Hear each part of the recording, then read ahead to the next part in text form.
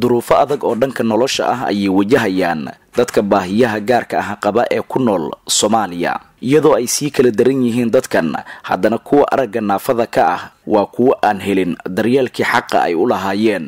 Maanta oo kale dunida waxaa laga xusaa maalinta farta bareelka oo ah mid ay ku waxbartaan dadka aragga naafada ka ah.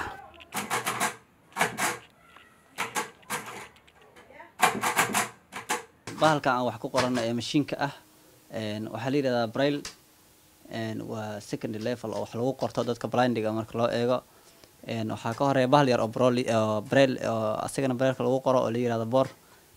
Midkan waa midka labaad. Inta badan waxaa isticmaala dadka macalimiinta inta badan isticmaala ardada inta badan marka soomaaliya la jooga ma helaano. Laakiin inta badan dibadda waa laga helaa.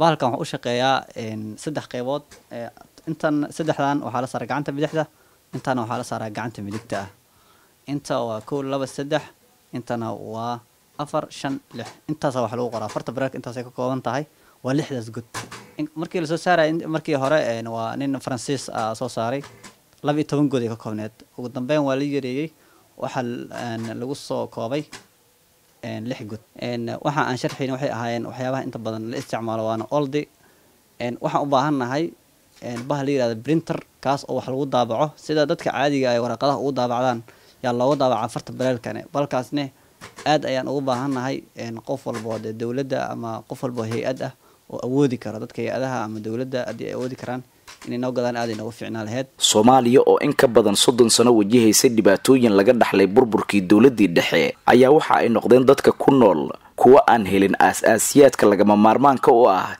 geedi u socodka ummad waliba oo ku nool dunidan guudkeeda. Qaar ka mid a dhallinyarada araggala ee ku waxbarta farta bareelka ayaa ka waramaya fartan iyo muhiimadda ay u leedahay. Waa horta magacayga waa dalmar cadow maalin ahna ah. Dhallinyarada araggala ee ku barato magaalada muqdisho ee dalka soomaaliya maanta farxad gooni ayay noo tahay in aan maanta xusno farta bareelka horta farta bareelka waa far kuuskuusan oo inta badan ay isticmaalaan dadka araggala oo dhibcadhibca ah.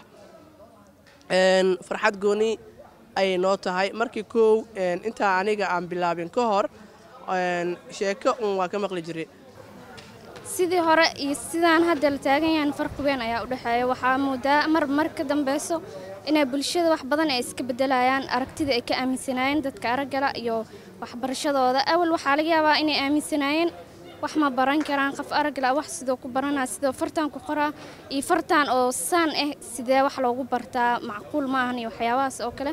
Laakiin hadda marba mar ka dambeyso way fahmayaan. Farta bareelka markii kooga aniga baranayay dadka iska daaya aniga shaqsiyan xitaa ma aaminsanin inaan wax ku baran karo. Laakiin markii aan muddo joogay ayay iga dhaadhacday inaan wax ku baran karo. Laba isbuuc taqriiban markaan joogay ayay fahmay inaan wax ku baran karo. Markaasa ogaaday caqabadaha bulshada aan kala kulmana waxaa ka mid ah in lagu dhaho tusaale kale fartaan ma waxaan oo shabaqa oo kale ama baastamirka oo kale se wax loogu baranaa farta bareelka waxay ka kooban tahay lix god lixdaas goda waxaa loo qaybiyaa maxaa la xuruufta inteeda kale. Daawadayaal axmed xasan dige waxa uu ka mid yahay dadka baahiyaha gaarka ah qaba sidoo kale waa bare wax ka dhiga iskuullada dadka baahiyaha gaarka ah ama aragga naafada ka ah ay wax ka bartaan waxa uu baraa maadooyinka kala duwan axmed xasan dige soo dhowow runtii maanta waxay ku beegan tahay maalinta farta baraylka waxaan meeshan ku qabanay xus aan ku xusayna farta baraylka iyo muhiimadda ay leedahay kaasoo aan ku lifaaqanay waxbarashada dadka araggala iyo si ay bulshada u dhexgeli lahaayeen. Farta baraylka waa far aad u muhiimsan oo dadka araggala ay wax ku bartaan. Taasoo ka saacida qofki inuu waxna qorto waxna uu akhriyo sida ardayga caadigaaba intuu buuggiisa iyo qalinkiisa u qaato uu wax u qoran karo una akhrisan karo. Marka runtii ardayda wax ku barata farta bareelka guul weyn bay ka gaadhay. Anigan macalinna waan ahay waxna farta bareelka oo ku soo bartay. Maanta oo ay taariikhdu ku beegan tahay afarta janawari waxaa dunida oo idin laga xusaa maalinta farta bareelka oo ay wax ku bartaan dadka aragga naafada ka ah. Waxaana fartaasi hindisay louis brail oo ka tirsanaa ciidamada faransiiska. Xasan kaafi xaji maxamed v magaalada muqdisho ku xirnow i b s bank goob kasta iyo goor kasta adigoo isticmaalaya i b s mobile banking degso ablicathonka oo isticmaal adeega i b s mobile banking